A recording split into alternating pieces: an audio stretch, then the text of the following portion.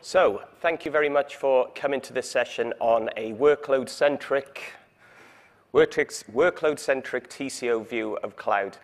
Um, and I have so many esteemed guests here who we're going to introduce in a moment. Um, but I thought I'd give a bit of an overview of, of what we are seeing in terms of workload value, workload TCO in the cloud market at the moment. So I'm Owen Rogers, and I'm Research Director of the Digital Economics Unit at 451 Research. And essentially my job to come up with rules and understanding of when one cloud option is going to be better value than another option. So I run a service called the Cloud Price Index, and the Cloud Price Index has around 30 benchmarks of cloud pricing around the world.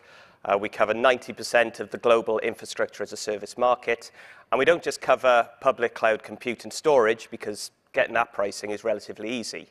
We also cover the typical cost of hosting a database. Uh, we cover the cost of OpenStack, VMware, and a bunch of other cloud options. And what this enables us to do is to come up with TCO options for when one cloud is better value for another. And a few months ago, we decided to investigate in depth the value of OpenStack against commercial offerings such as VMware and Microsoft, and against the public cloud as well. And what emerged was probably not a surprise, in that there's not really any clear standout leader. We can't say OpenStack is always better value in one place. We can't say that VMware is always cheaper either. The fact of the matter is it's a function depending on how well managed the cloud is, so its labor efficiency, and how well utilized it is over time. So as a rule of thumb, if you have a manpower labor efficiency of under 400 virtual machines per engineer, you're probably better at the moment using a commercial platform. And the fact of the matter is, OpenStack engineers are really difficult to find at the moment, although hopefully this will increase with events like this. And because of that issue, at the moment, if you're running a small-scale cloud, you're not very efficiently managing it, you're probably better off, controversially, using something like VMware or Microsoft. But if you are very efficient at managing it, if you have a high level of utilization, OpenStack gets increasingly better value. And in fact, OpenStack gets more and more better value the greater scale it is operated at. Now, OpenStack distributions are often used as a method for reducing cost, and we actually found that OpenStack distributions pretty much write themselves in terms of value. So if you're using an OpenStack distribution, it is always, practically always, going to better value than using the OpenStack source over a long period of time. So there's loads of different nuances here, and I'm not going to go into all of them because that would take forever. But what this means for me is that to have just a single cloud platform for everything is a bit of a dangerous strategy. And I believe end users, consumers need to consider each different workload and work out where the best place to host it is. And obviously, this isn't just in terms of price and TCO, it's also in terms of security, in terms of geography. And increasingly, we're hearing from end users that a cloud-first strategy isn't now about going down a particular cloud route, it's about having the options of choosing different clouds. So my general advice I give to anyone is to consider a multi-cloud strategy rather than getting fully on board with only cloud one cloud provider or one cloud option. And that is the basis of today's panel discussion. So I'd like to introduce the panel, starting from the left, please. All right, yeah. So my name's Scott Sneddon. I'm with Juniper Networks. Um, I'm a senior director at Juniper focused on software-defined networking, virtualization, cloud technologies. Uh, my team um, looks across all of the go-to-market and sales efforts at Juniper, and we work with customers as well as with you know, Juniper people to kind of help understand uh, the challenges that customers have in, in moving to cloud, adopting these technologies. Uh, we spent a lot of time with telecom operators, helping them uh, look at and work around some of the challenges of NFV and virtualization and running their own cloud infrastructure. And, and you know, so we spent a lot of time business modeling a lot of the same sorts of things that you've talked about here and, and are in your research report, um, but also around the impact on the network and network operations. And so, you know, being a networking company, we kind of look at it from the view of how does automating your processes around managing network infrastructure help with that? And then culturally, how do you evolve your teams mm. so that the cloud and DevOps teams are working with the networking teams and that sort of becomes one consistent workflow. And we think that there's a lot of optimization that can happen there. Um, we'd love to talk to you a little bit more as you Anytime. continue your research about uh, um, you know, how network operational practices impact um, these economics that, that you're calculating around cloud utilization. So. Uh, hi, I'm Dan Dumitriu. I'm a co-founder and uh, head of product of Midokura. And uh, what we do is we, we make an SDN solution for network virtualization for OpenStack and, and other platforms, primarily based on Linux. So um, our customers are actually in the enterprise space with a few companies in the in the hosting space, not really any telecom um, as such. So um, being in the in the network uh, virtualization area, one of the things that we attempt to do is to reduce the cost of network operations. You know, obviously for for the cloud at least, at least for that. And we actually might be moving into into other network areas as well over time. Thank you.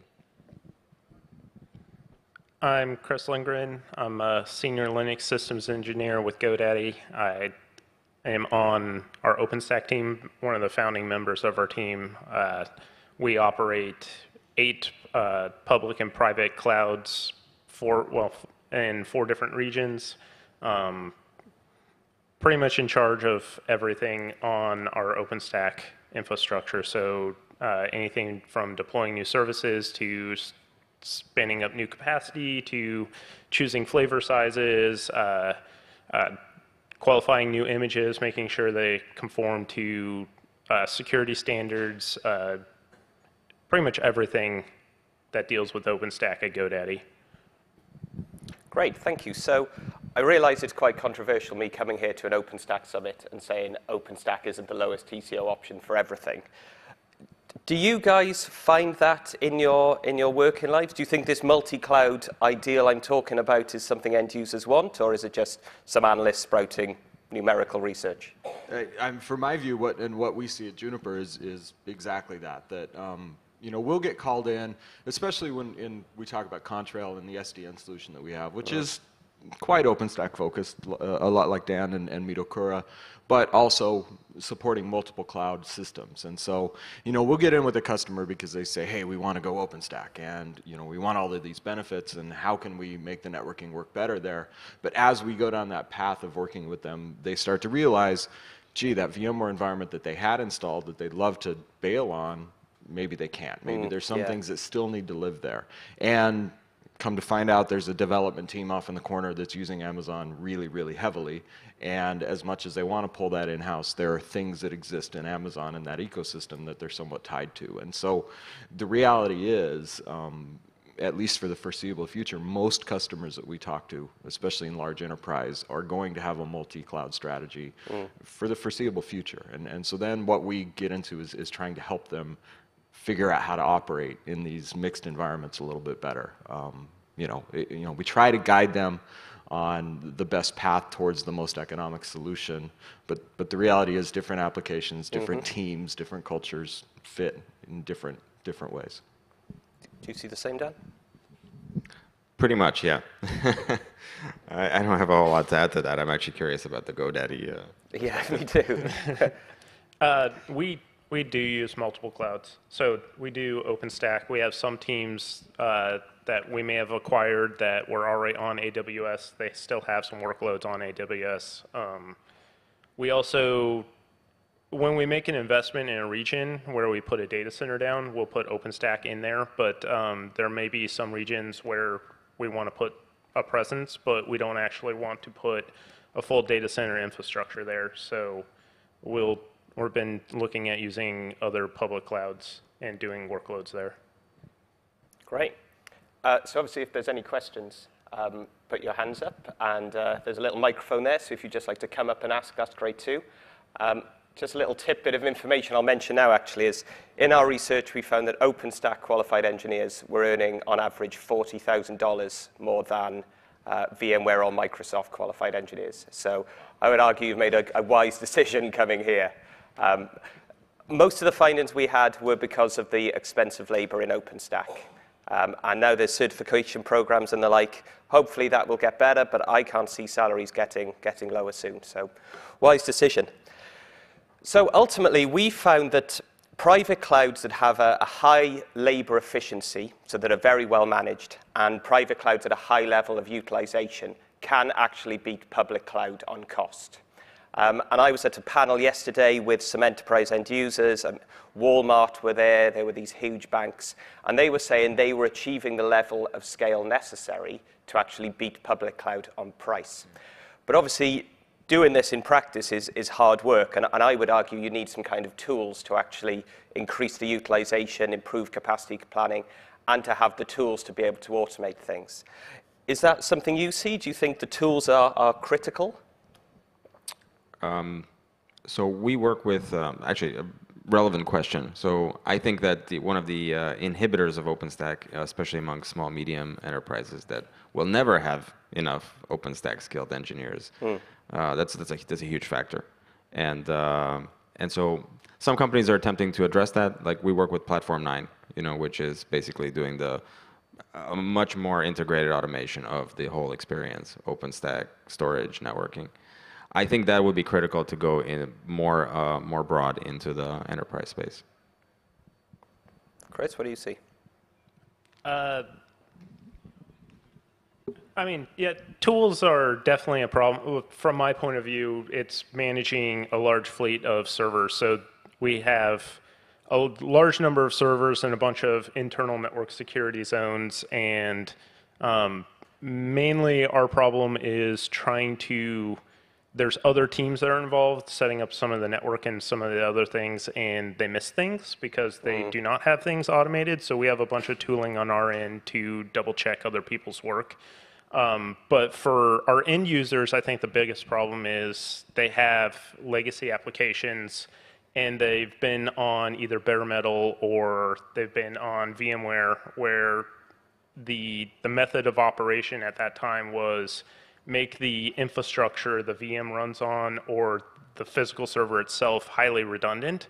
And we're moving more to make the application highly redundant, handle failures and stuff in the application, um, exposing fault domains out through like availability zones and telling customers to split their app between availability zones so we can do uh, better forms of maintenance. Um, we can do a better job of letting them create applications that are more fault tolerant to certain issues. Um, and that requires a large amount of philosophical change on their end. And that I think is the hardest part for us is just kind of keep on preaching the your VM maybe is very important to you, mm. but from our point of view, it's one of a couple tens of thousands of them. So if we have a hypervisor that goes down, we're not doing backups on it. We're not like your data, your job to keep your your backup of your data. Like I don't know what's in your VM, so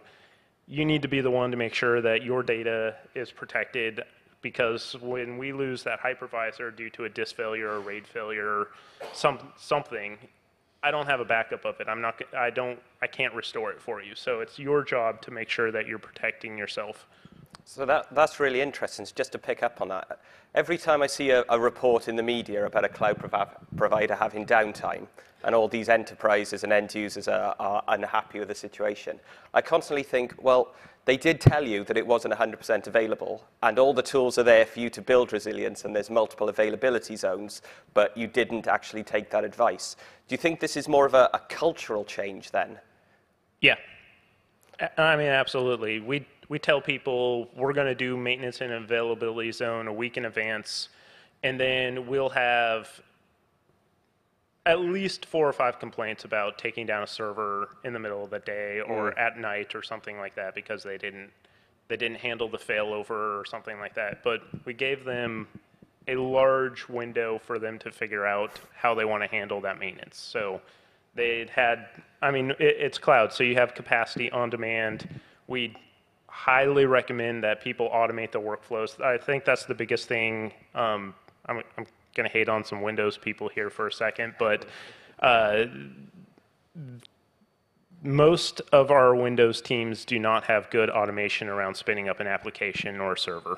They're, they don't do a really good job of doing that. So they typically run through like a documentation or a workbook, or they try to make one server look like another server by going through settings and things like that. And that's, it, you, you can't do that. It's just, from a scale and turn up scale, it, it just doesn't work.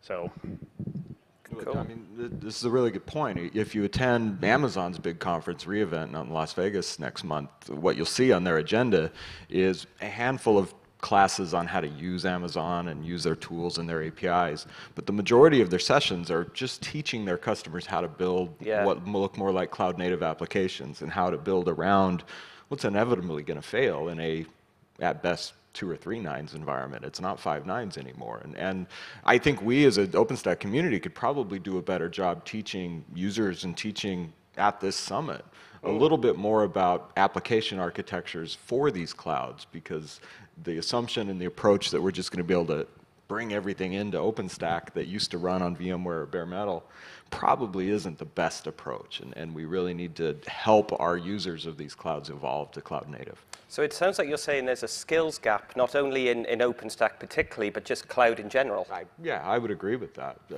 most certainly. And Um, do you think the industry is resolving that? It, s- slowly but surely. I mean, we're seeing more and more providers that are starting to develop that way. Um, one of the side effects that we see of the, the container buzz is mm. that people are starting to think about refactoring applications to run there instead of when we moved to VMs, it was just take that thing and package into into another thing. But containers doesn't really fit that model very clearly, and so yeah, the container movement is really, I think, driving a lot of people to rethink application architectures also. Yeah, it, especially people who deploy, f- uh, from my experience on Kubernetes, because it, it forces you to already break your application into those chunks. Well, just a bit of a deviation then. So, do you think containers are the death of virtual machines? You know, let's say five years' time. I, I keep falling back, and these guys from Juniper have heard me say this a bunch of times. So I, I sat on a software-defined data center panel about three years ago at an event in Silicon Valley, um, and next to me was a guy from UBS, big banking firm. And all morning we had been talking cloud native, and the legacy has to go away, and software-defined is the future. And he chimed in on that panel and says, "All you guys have been saying legacy this, legacy that. In the banking world, we call that shit that works." Right. and right. frankly, there are a lot of mainframe type things that haven't gone away, and you know we all hope they would, but there's mm-hmm. still a guy out there maintaining COBOL code somewhere. And I think VMware r- continues. Virtual machines have a place and will have a place for the foreseeable future. Containers are a really great way forward, and maybe we start to see VMs taper, just like we've seen mainframes taper mm-hmm. significantly, but they don't go away. It never dies, I, I, is my opinion. Do you see the same, Dan? Yeah, yes, and it occurs to me that what becomes really complex in that environment is networking. Yeah. Sorry, so- uh, self-serving uh, buzz here. but it's true. Containers worth the hype? Uh, yeah, yes and no. Um, I don't. I don't think you're ever going to replace completely replace VMs. I mean, the from our inter- from our side, VMs are supposed to replace bare metal, but we have a huge interest in Ironic, and there's mm. a number of companies out there who have a huge interest in Ironic. I think what people really want more than anything is I think what people want out of containers is that from an application standpoint, I just want to care about my code. I don't really want to care about the architecture or the infrastructure. And you give a bunch of software developers Kubernetes and they don't have to care so much about like they define their pods and their services and say like here's the things I care about like here's the front end things that I want you to keep running and it takes care of keeping everything running. But uh, I think that's what I see from our development teams that they want. But anything else, you're giving them kind of a level of complexity they don't really w- they don't really they own it right now, but they don't want it. Yeah, it's levels of, of abstraction. And- Yeah. And, automation is how you start to get there. And Kubernetes and, and these container ecosystems are another way to automate application deployment in a simpler fashion where the developer or the user doesn't have to understand the infrastructure. VMs were a level of abstraction that kind of took that away. And then, you know, self-serving again, Dan and I are very focused on how the network automates and exists in that environment. So just like a VM lets you not worry so much about the infra and, and a container lets you worry less, the network has to be pulled along with that. So the architectures of the network are represented in an abstracted way so that mm-hmm. you don't have to worry about topology so much as just the application framework that, that gets deployed. And the network follows that appropriately with security policy, with connectivity mm. models automatically created to go along with that. I actually have a question for, for the moderator, you know, uh, about containers. I- have you done any cost modeling of that, you know, relative to the other platforms? So funnily enough, I have. So um, the problem with being an economist in cloud is the answer is never simple. And people like simple answers, but I, I did actually do a, an algebraic comparison of, uh, of using virtualization against uh, containers. And what I actually found was that containers are, in, ter- in terms of server efficiency, containers are always better or equal to virtual machines. And the thing that most impacts the benefit of using containers over virtual machines is the size of the operating system footprint. So essentially, if you squeeze, let's say you've got a server with eight virtual machines. If you were to replace those eight virtual machines with eight containers, containers would use less space and would better utilize the server than if you were using virtual machines. But actually, what matters more is how big is the repeatable operating system footprint. So let's say our virtual machine was 50% Linux footprint, just for the sake of it.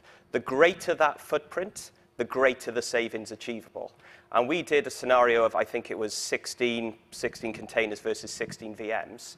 And it was like a 50% cost reduction relative to virtual machines. What were the primary drivers that drove the cost reduction? The primary driver was the, it's almost like the, the sharing of resources. So obviously in, in hardware virtualization, you're, you're sharing hardware resources, right? But when you have operating system virtualization, which is in many ways what, what containers are, to be simplistic, then you're sharing the operating system resources so you don't have to repeat them, and the hardware resources. Uh, it was a very theoretical um, approach, but I, I generally think that theory is where the practicality begins. And if we see that opportunity in theory, then in practicality, I think we're, we're going to see savings of at least something. great, great. What's the time? uh, that gentleman had his hand up very quickly. Um, I consult a lot with uh, service providers in the Middle East and Africa, and one of my biggest challenges always is, uh, is perhaps a philosophical and religious one when coming to OpenStack, and it's like quality versus quantity. So, you know, OpenStack features it works with anything. You see lots of people wanting to put in commodity storage, but then you look at the cost of operations, disk failures, and stuff like that, and if you put in uh, more quality, let's say, infrastructure that is going to have five nines operation, you know, might give you uh, 10 times dedupe or compression, so, you know, it does in one drive what 10 commodity drives would do.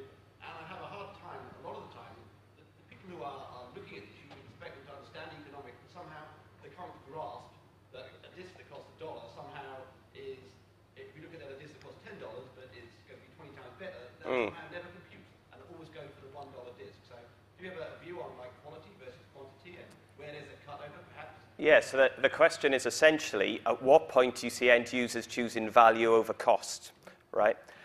I, the service provider, even the people, the operations team deciding what to deploy for. So it's more an internal data center rather than the end user for it. What's been interesting in the cloud price index for public cloud is because we have market share data and price data, we're able to measure commoditization of the market. So we're able to see, well, does having a cheaper virtual machine drive a greater market share? And actually what we found is being cheaper doesn't always mean you're going to win greater market share. So in public cloud at the moment, I'll start on public cloud, I don't think end users are particularly price sensitive. And I think the reason is, if I was a CIO and I had been using something, I had been on premises, I hadn't taken any risks, I was fairly secure in my job, I'm not going to pick up and move everything that my job relies on on something that's cheaper for a 10% saving, but then put my job underline. You know, so I think if you're a CIO, you obviously want to make cost savings, but you're not going to give up your security and reliability and all the responsibilities that come with that because something might blow up. With private cloud, I think you're right. I think it's a lot more difficult because the complexity of the solutions means that it is possible to pay more and get greater value. But then how do you measure how that value is going to contribute to the overall application? And this is the whole issue of price performance. It's easy to understand how much something costs, but then working out if you're getting value for that price is a different challenge. And, and I agree, it's not, not easy. Do you guys have the same views on that? So going back to what he said about the, the quality, and I think there's an assumption where if you go to a high-end storage architecture and stuff like that, you get much more reliability. And I've, I've had the exact opposite experience. Um, what you effectively do is you increase your blast radius for any sort of issue that you have. So you have a, a switch issue, um, you have a storage issue. It, instead of impacting 25, 30 VMs, now suddenly you've impacted 1,000, 2,000, 3,000. So you take a small problem and you make it really large. You also, with uh, network attached storage, from my experience, um, when you have a network issue specifically, you have a very short period of time, typically shorter than the, the time it takes for the monitoring system to tell you that there's a problem to actually fix the problems. And when you have a bunch of VMs that are booted from volume uh, and their root disk is on uh, the SAN and the SAN network goes down, you've got about a minute and a half before that root volume becomes read only. And trying to, once you fix the networking problem and everything comes back up, now you have this VM that's sitting out there it's got a corrupt disk. It's going to have to be rebooted, file system check. Someone's going to have to log in to the console with a password. The recovery time for that suddenly becomes hours. Where if you had something where you had uh, like exposed fault domains and you built your app across three different commodity servers, if we had an issue with one server, you didn't just take down the entire application. Does that mean you, you don't use the SAN, you use local storage and rely on the application to take care of it? Right. We had a uh, we had a public cloud product that was built on uh, five9 NetApps. So we had gold-plated NetApps that backed it up. Uh, we have more the, the the aside from reliable messaging, the the second most unreliable thing in our in that infrastructure was the network connectivity to the NAS share or the the NAS itself. So we we specifically went from uh, shared storage to local disk. So back to you, the gentleman. Do you feel this is almost a, a culture issue that the client is still getting used to the cloud way of actually the, the hardware in some way is temporary and it can die. Do you think clients where you are working are actually a bit confused that it's almost the application that needs to be architected? So maybe from what Kris was saying, the, what really matters is how the application is going to be redundant rather than the expensive hardware.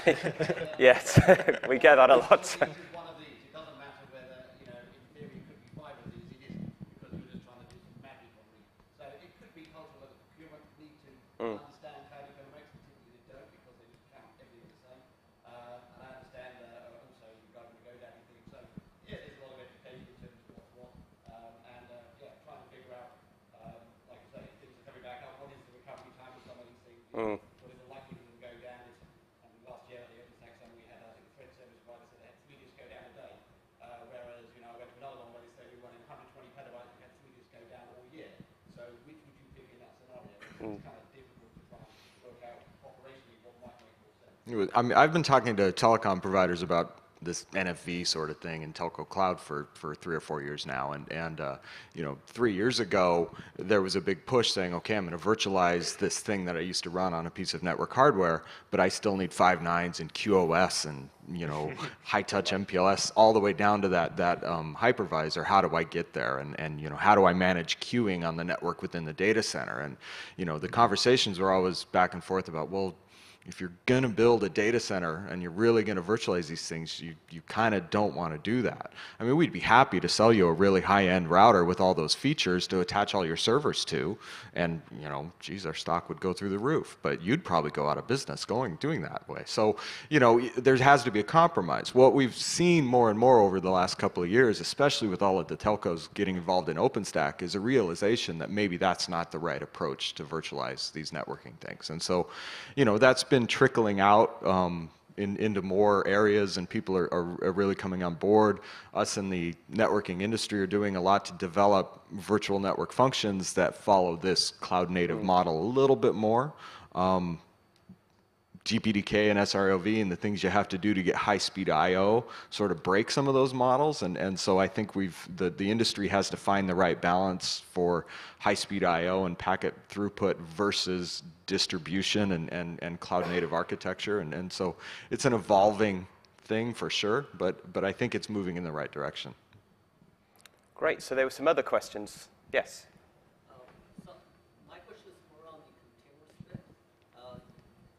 Sorry. Uh, yeah, would you mind? You're close to thank the mic. You. yeah, two, two second more. Uh, hi, my name is Nathan.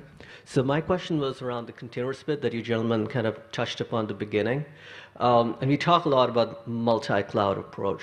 Uh, with containers, it's become, with containers, and I'm using Docker and Kubernetes mm-hmm. specific, it's more architecting your application. Do you think that we're moving in a direction where we're abstracting away the underlying cloud? Where it's not really a multi-cloud, it's more like a distributed container strategy, and it can be on any cloud irrespective. Like, is containers truly the holy grail, or is that something that you feel that we're moving in a direction towards? Thank you. I'm going to check this over to you guys while I think about it. I don't believe so. I think the architecture is very complex beyond just the compute, which is really what the container is. The storage, I don't think can be really abstracted like that. Like in, in your example, for you know, the application had to be rewritten to do its own distributed storage modeling, whatever that it whatever it needs. And then you have a bunch of other external services, like you have external network access, you have DNS, you have all kinds of things which um, geographic distribution, I don't think can be hidden away for, for an application. Do you think it is? There's a lot of tech that, that's being worked upon right now. There's FSaaS and OpenStack mm-hmm. using file system as a service. Uh, yes, it's not where it needs to be today to work in, an, in, in even a triple nine kind of a setup. But I'm hoping that eventually that is what it would be, that the underlying um, underlying um, cloud becomes immaterial, whether you're on AWS or you're on, on Azure or on, on maybe a Rackspace cloud essentially what you're doing is you're architecting your application and abstracting the underlying cloud away. Because in theory, that's what Cloud Foundry is to some degree, mm. right? Right. I was just going to say, yeah, like, in theory, it, you can do the exact same thing with VMs without having to go to containers. You just don't just don't tie yourself to a certain provider's APIs. And that's one thing we've seen Oh, well, I mean, you can do it with a Cloud Foundry, um, or even from some point, you can also use Shade for to handle the differences between OpenStack clouds. But that's what we tell our, like, we try not to have people that go directly. So we have some people who want to write like bash scripts to go hit the OpenStack API, hmm. and it's like, please, please don't do that. Go go use a client that's native to whatever. So, so the counter argument there is the underlying factor is cost. Uh, we have, I've seen a lot of customers who have just complained that even the smallest version that companies are offering right now, which might make which makes financial sense for them from a VM perspective, is still nowhere close to the utilization that they're looking for. Mm. And that's why containers provide them more elasticity in terms of their usage and makes it more cost effective for them. So, and that is why my, my question was around whether containers forms the truly that abstraction layer that allows you to like pull back and forth, uh, grow or contract and just pay by usage rather than, yeah, yeah, I have a smallest setup with even 20 nodes, but I hardly use 10 at any given point in time. So why am I paying for the other 10? Well, the, the ultimate version of that granularity is the so-called serverless Lambda, right? But that's also the ultimate lock-in. So in that sense, uh, I think you got to pay for it one way or another in terms of complexity or poor utilization. You know, you know what I mean? So I, I had a conversation with Google last week um, about their, their cloud platform. And Google are always talking about how they're cheap and they're going to kick Amazon's backside and you know, they're going to they're going to become the cheapest. And I've never really seen evidence to, to back that up. But last week, they, they described to me their infrastructure is essentially all based on containers, right? So they argue that because all of their infrastructure services are based on containers, they can do exactly that. They can grow and shrink the containers, and because of that, they can pack more in. So all of Google services for cloud are on these containers. And what that means is they can not only put more on a server, but then they can also spin up temporary services that only last a few seconds for things like indexing. So they are using containers in this highly utilized fashion.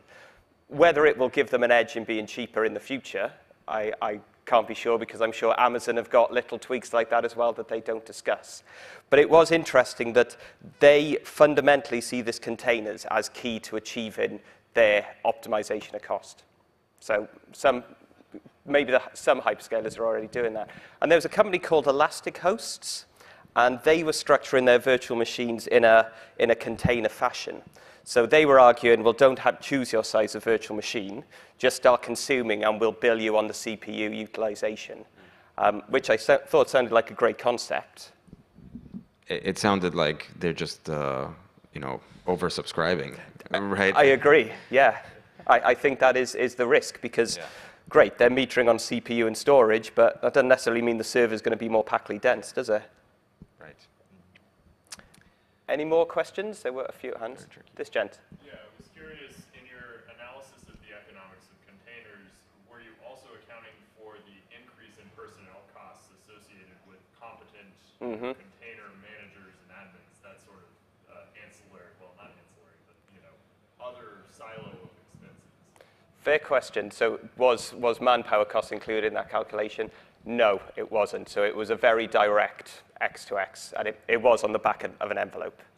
Um, do you think the skills in handling containers would be harder to get? And do you think the maintenance would be harder than virtual machines, for instance? So I live in San Francisco, so you can find container people, like everyone attaches to the Linux framework, right? Um, but I do think that those skills tend to command a premium, uh, you know, not because there's a shortage, but because it's a sexy topic in IT. Um, so I'm not sure if that's material, that's why I was curious. Um, but I, I feel like there is probably a noticeable difference in the amount of administrative overhead as well as the amount of, of just sheer talent that you need to successfully deploy talent, uh, uh, deploy container infrastructure. So it might be interesting in the future for me to investigate if containers command a higher salary in the same way OpenStack does. I, and that's kind of the reason why I was thinking about that, because if OpenStack contain, commands a premium, I would assume containers would also. Do you have a follow-up there? I think you're dealing a little bit with the shiny object syndrome as well. Really? Yeah. What, about containers in general?